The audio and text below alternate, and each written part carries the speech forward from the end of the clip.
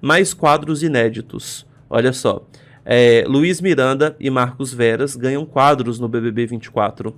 Ó, e não faltam quadros novos para divertir os telespectadores. Os humoristas Luiz Miranda e Marcos Veras já estão confirmadíssimos no elenco deste ano, no elenco, claro, dos quadros. Né, igual ano passado a gente teve a Dani Calabresa e o Paulo Vieira. Né, a, a, o Paulo fazia o Big Terapia. Começou ano passado. Achei muito bom, inclusive. Ano passado ou ano retrasado. Não vou saber agora qual foi o ano que começou o Big Terapia. Mas muito bom, gostava muito. E o Cat BBB com a Dani Calabresa, que muita gente criticava porque comparava com o Rafael Portugal, que foi quem idealizou aquele quadro, é, mas eu achava muito bom, principalmente as imitações da Dani Calabresa. Pelo jeito, eles não estarão esse ano, né? Porque não está sendo falado sobre eles. Está sendo falado aqui sobre o Luiz Miranda e o Marcos Vera que vão fazer é, essa, que vão fazer esses esses quadros. Ó, vai ter o tal do Big Babado, que o Miranda vai abordar os acontecimentos recentes da casa mais vigiada do Brasil. Enquanto isso, Veras vai bisbilhotar os cômodos da mansão e conferir de perto a possível bagunça dos brothers no quadro Vamos Invadir Sua Casa. Ó, mudanças na votação. Isso aqui é importantíssimo, hein? Isso aqui é importantíssimo e vai dar muito pano para manga ano que vem. Não, vai ter muita gente falando sobre isso, gente. Vamos lá, mudanças na votação, hein? Vamos falar sobre isso, tá? O foco no G-Show continua sendo a máxima do BBB 24. Nessa edição, a votação ganhou um novo quadro em sistema misto, ou seja, o público poderá votar de duas formas diferentes.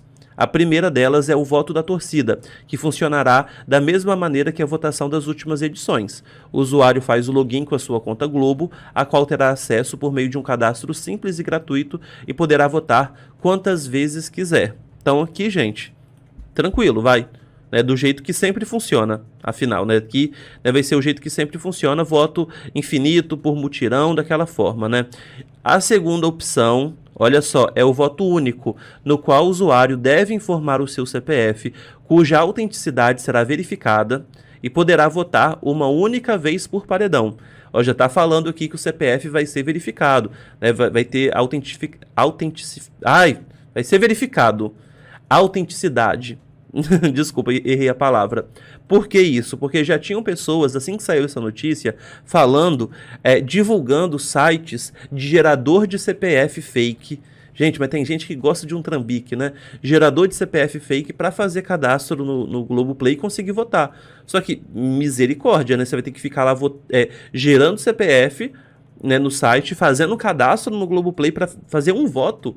Complicado. É melhor você ir lá e focar no voto de torcida né? Então, ó, cada modelo de votação terá o peso de 50% no resultado final, que será a média ponderada dos dois formatos. Nossa, que complicado! Ai meu Deus, algoritmo, é logaritmo, é, é Bhaskara, tem que... Não, calma, né?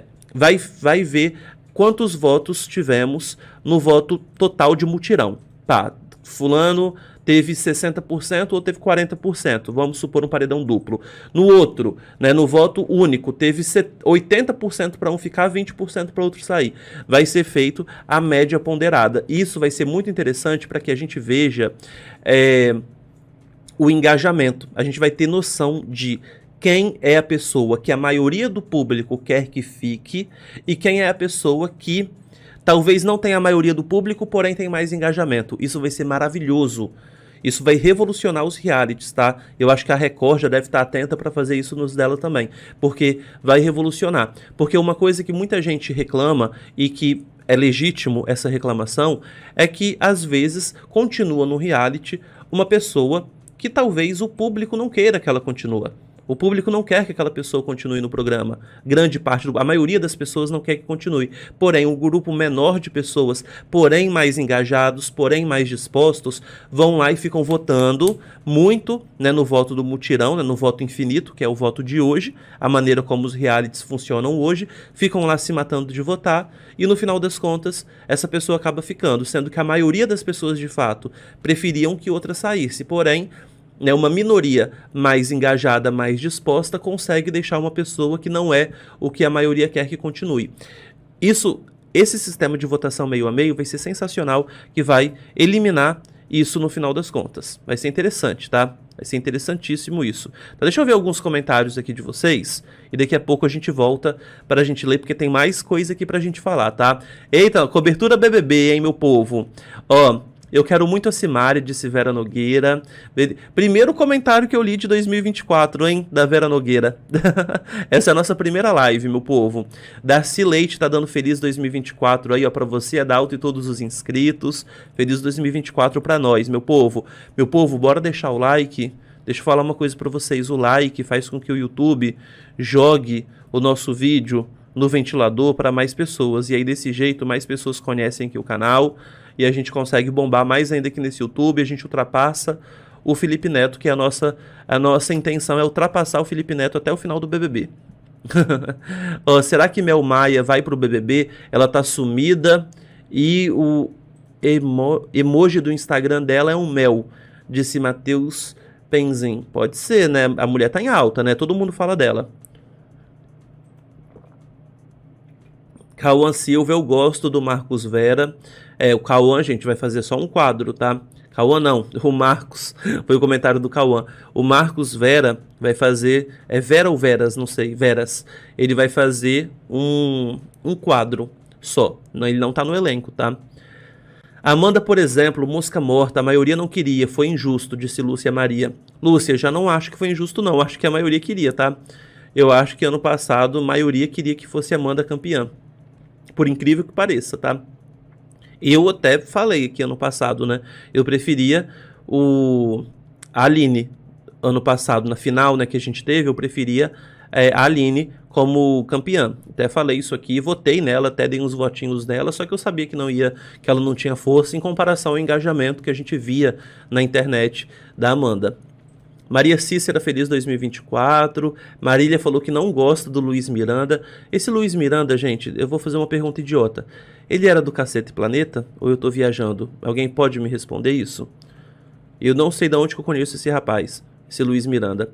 Ó, pelas dicas, só o Boninho pode ser. Pelas dicas do Boninho, pode ser até Larissa Manuela no BBB. Acho que não. Muito difícil. Acho que ela não entra, não. Seria, assim, uma bomba, né? Já pensou, meu povo? Larissa Manuela no BBB seria, seria uma bomba, mas não acho que aconteça. É, não era do caceta? Ah, então estou viajando. É, Feliz Ano Novo, Irene Queiroz. É, o cast da Fazenda dá de 10 a 0 no BBB, disse Juliane B. Vou atualizar as imagens. Galera, membros do canal, a gente vai atualizar assim que a gente tiver o elenco, ou seja, sexta-feira. Assim que a gente tiver o elenco oficial do BBB 24, nós vamos fazer todas as figurinhas. Ou seja, no sábado, provavelmente, os membros do canal já estarão com todas as figurinhas aqui atualizadas. Ai, meu Deus do céu.